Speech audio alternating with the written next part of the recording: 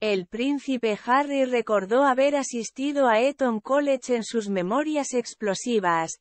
Spare. La princesa Diana no quería que su segundo hijo, el duque de Sussex, asistiera a Eton College, afirmó su ex mayordomo Paul Burrell.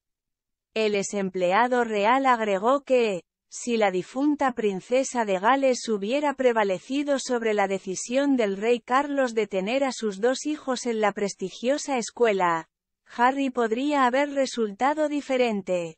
Burrell también hizo la afirmación extraordinaria de que Diana sabía que Harry no era tan listo como el príncipe William. Hablando en nombre de Slingo, dijo, Diana no quería que Harry siguiera los pasos de William porque sabía que no era tan académico como William.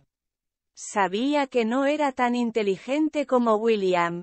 Sabía que no era tan intelectual como William y pensó que compararían a Harry con su hermano en la escuela y no quería que sufriera eso.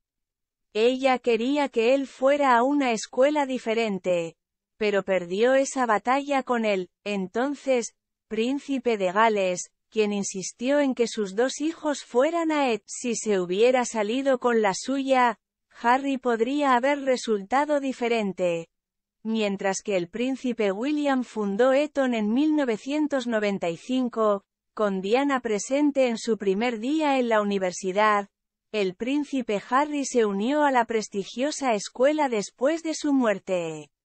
El propio duque habló sobre tener un momento difícil en Eton College, ubicado a pocos pasos del castillo de Windsor, en sus memorias explosivas tituladas Spare. En el libro de 416 páginas, el duque de Sussex mencionó sus dificultades para aprender a Shakespeare, algo que, según él, el rey Carlos encontró molesto y asistir a lecciones de francés.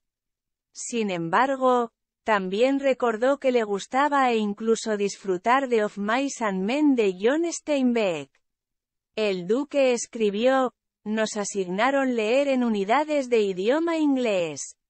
A diferencia de Shakespeare, Steinbeck no necesitaba un traductor.